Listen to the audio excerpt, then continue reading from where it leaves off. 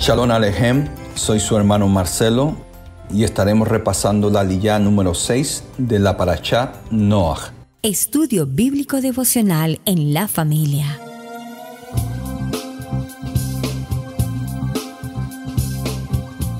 Para las familias. Desde Israel, Casa Integral, una herramienta que revolucionará tu estudio bíblico para Shat de la semana. Con solo un clic podemos conectarnos. Contáctanos en nuestras redes sociales. Israel Casa Integral. Acompáñanos en este recorrido de 365 días de enseñanza bíblica. Berajá la Torah. Baruja Yahweh Jaomereja. Baruch Yahweh Jaomereja Leolam Elogenio Melech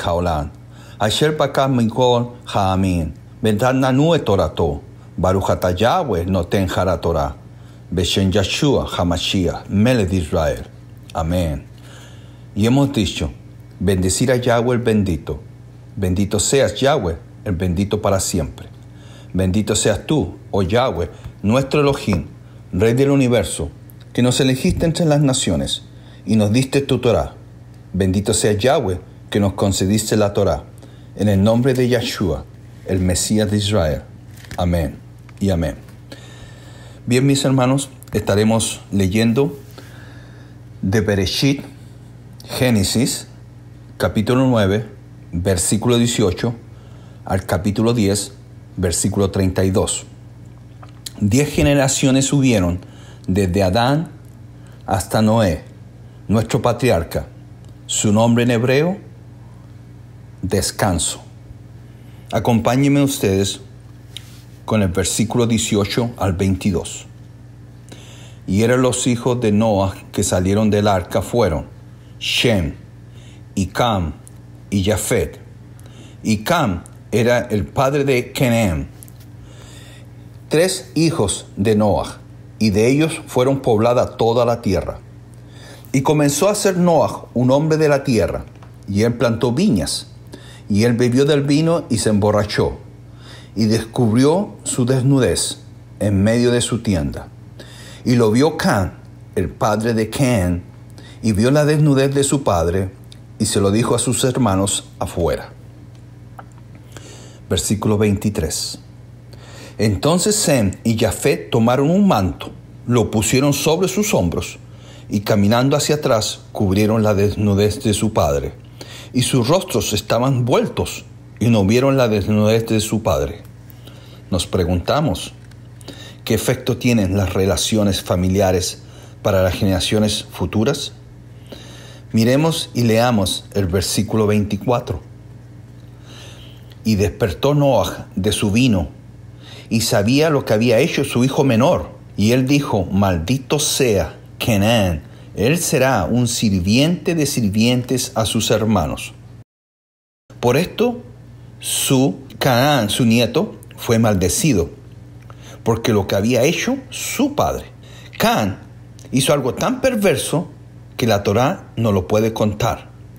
Un comentario rabínico en el Midrash nos alude que hubo un pecado indecoroso sexualmente, pero vemos que hicieron sus hermanos en el versículo 23.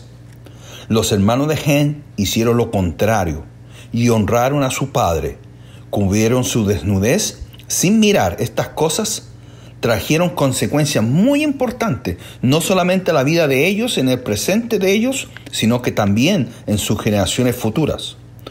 Unos versículos más adelante veremos que hubo una tierra ya con estas características y a raíz y a consecuencia de este acto. Si avanzamos en la lectura, un versículo más adelante podemos ver que la tierra estaba dividida de esta forma.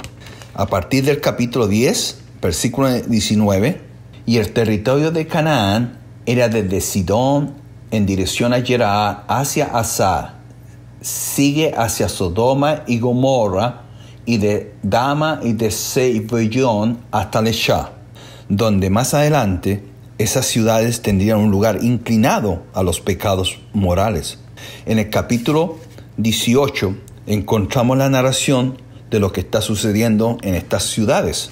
Esta fue en el tiempo cuando nuestro Adonai estuvo junto con nuestro patriarca Abraham y compartió con él lo que él haría a esa ciudad. Vamos y leamos en el capítulo 18, versículo 20. Dice así, y dijo Yahweh, el clamor contra Sodoma y Gomorra es tan grande y el pecado de ellos es tan serio. Aquí vemos la inclinación que ese pueblo tomó a raíz de esa maldición. Bien, Noah supo usar el poder de la palabra. Por la palabra profetizó y pronunció una maldición sobre su nieto Canaán, por lo que había hecho. Leamos parte de esa maldición como tomó consecuencia. Aquí nos veremos cómo nuestros patriarcas tenían muy claro el mandamiento de Yahweh, donde el pecado no debe asociarse con lo separado, apartado. En Bereshit, en Génesis 28.1, nuestro patriarca Isaac llamó a Jacob y le bendijo y le ordenó diciendo, a él, no tomarás esposas de las hijas de Canaán. Volvamos al capítulo 9 de Bereshit y leamos versículo 1. Y Yahweh Elohim bendijo a Noah y a sus hijos y les dijo a ellos, fructificad y multiplicad y llenad la tierra y tengan dominio sobre ella. Hay que encontrar algo muy interesante que en la historia después veremos en las citas de la, para, de la Parashá Balak, entre comillas profeta, en el libro de Bamimar, números 23.8. Leemos 23.8. ¿Cómo puedo yo maldecir a aquellos que Elohim no ha maldecido? ¿Cómo voy a condenar a aquellos que a Yahweh no ha condenado? Entonces, hermanos, hagámonos esta pregunta. Can, el hijo de Noé, no fue maldecido, pues ya había sido bendecido en el capítulo 9, versículo 1. A consecuencia, Noé maldijo a su nieto Canaán. Bien, Shen y Jafé recibieron una bendición poderosa. Las palabras que salieron de la boca de Noah fueron tan poderosas que sigue teniendo influencia sobre este desarrollo del mundo hasta nuestros días. Podemos ver el poder de nuestras palabras en Proverbios 18, 21. Dice, la lengua tiene poder sobre la vida y la muerte. Aquellos que la gobiernan han de comer de su fruto. Muy interesante que el poder de la vida y la muerte está en nuestra boca. Qué importante es usar su lengua correctamente, especialmente cuando se trate de hablar sobre los hijos. La palabra de los padres tiene mucho poder sobre la vida y desarrollo de nuestros hijos. Muchas veces son decisivas para todo un futuro. Analicemos lo que les decimos a nuestros hijos, cómo les hablamos, qué les comentamos, cómo son nuestras experiencias hacia ellos, ya que el poder de la vida y la muerte está en nuestras bocas. Como Zen y Janet, Janet, hoy debemos tomar un ejemplo y tomar una familia como una moral alta. No es bueno que los miembros vean desnudos, se vean desnudos, excepto los cónyuges.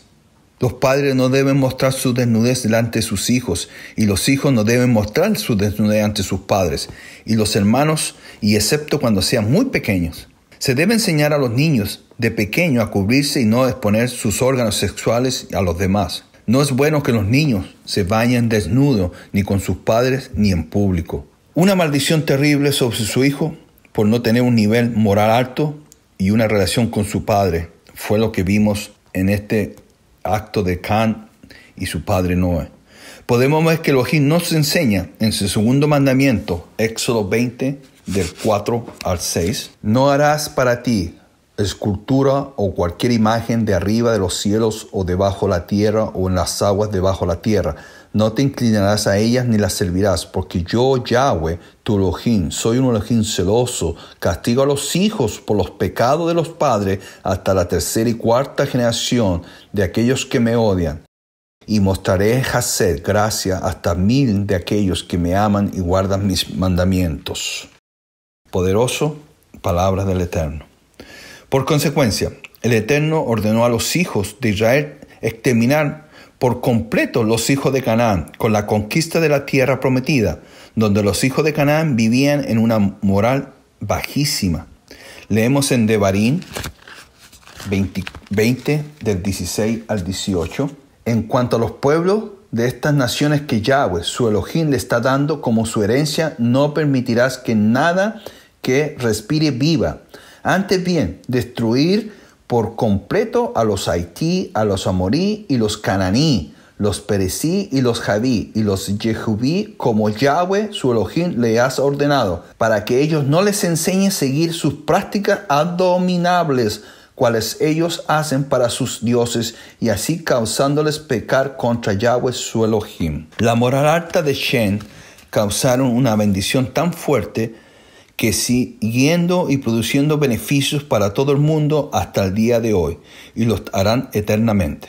Debemos mantener una moral alta en nuestra familia y obtendremos bendiciones para nuestros hijos para siempre. Que Adonai nos ayude a tener siempre buenas relaciones con nuestros padres y que nos permita seguir siendo fiel a su palabra.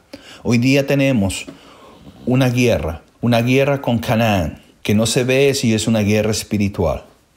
Vivimos bajo un mundo donde lo bueno pasa a ser malo y lo malo ha sido bueno. Analicemos estas palabras, hermanos, que lo que hablamos con nuestra boca traen una consecuencia, traen una maldición o traen una bendición. Bendigamos, que nuestras palabras sean de bendición, que nuestras palabras sean para la gloria y la honra de nuestro Adonai. Bendito sea Yahweh, Elohim nuestro, que nos ha dado su escritura, su Torah, para saber discernir entre lo bueno y lo malo. Le pedimos al Padre Eterno en esta mañana que así como los hijos de Noah, que miraron hacia atrás la desnudez de su padre, cubrieron su desnudez, así nosotros hagamos con el pecado, que miremos hacia atrás y no miremos el pecado, para que así tengamos una bendición de nuestro Abba. Le damos gracias al Padre por esta hermosa lilla. Hasta aquí mi participación con ustedes. Shalom Alejem.